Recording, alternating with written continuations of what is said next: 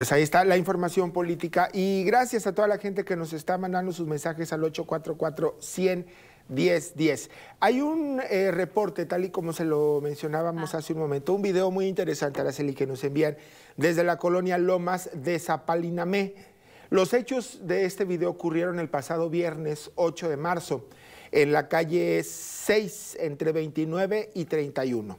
Un hombre que es quien nos manda el video Iba en la calle cuando lo intentaron asaltar.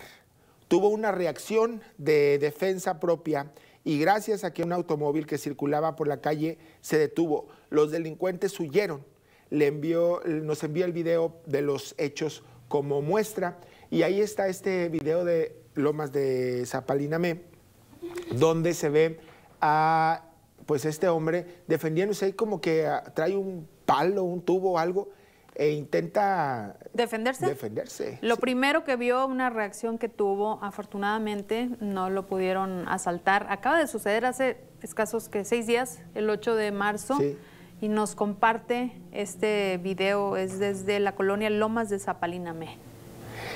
En nuestro estado de Coahuila hay una ley de defensa propia, en que incluso ya ha aplicado con gente que ha intentado meterse a casas y domicilios. Recuerdo eh, que la, en la colonia República fue donde una vez un hombre eh, mató a otro que intentaba ingresar a su, a su domicilio y aplicó la defensa, la defensa propia.